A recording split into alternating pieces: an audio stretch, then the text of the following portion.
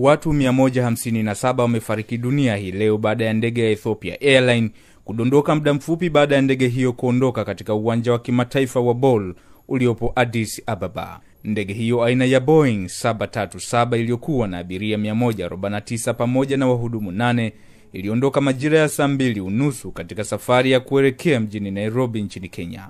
Ndege hiyo ilipoteza mawasiliano dakika sita tu baada ya kuruka katika uwanja wa kimataifa wa Bole na kudondokea kusini mashariki mwa adis Ababa. Nchi ya Kenya imeongoza kwa kupoteza watu thelathini na wawili ikifuatiwa na Canada ambayo imepoteza watu 18, Ethiopia watu tisa pamoja na wahudumu, huku nchi ya Uchina, Italia pamoja na Amerika kila nchi ikipoteza watu nane. Ufaransa na Uingereza kila nchi imepoteza watu saba, huku nchi ya Misri ikipoteza raia sita.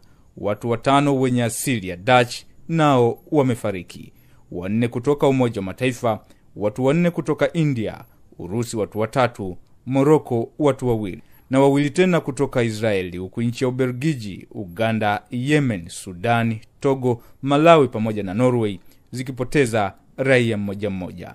Hata hivyo, taarifa zinazozagaa katika mitandao ya kijamii zinaonyesha kuwa kuna ujumbe mfupi ulitolewa na ubalozi wa Marekani kutoka katika kitengo cha usalama siku mbili zilizopita ukiwataka watu wake kutotumia uwanja wa Bol kusafiria au kuingia mjini Addis siku ya leo ya Machi kumi, taarifa ambazo zimeleta utata katika vichwa vya watu wengi. Kampuni ya Boeing ambayo ni kampuni kubwa ya uundaji wa ndege duniani nayo inaendelea na uchunguzi ili kubaini chanzo cha ajali hiyo. Abi Ahmed ni waziri mkuu wa Ethiopia, kwa niaba ya serikali kupitia ukurasa wake wa Twitter ametoa pole kwa wale wote waliopoteza wapendwa wao. Joseph Gande, Watetezi TV, Dar es Salaam.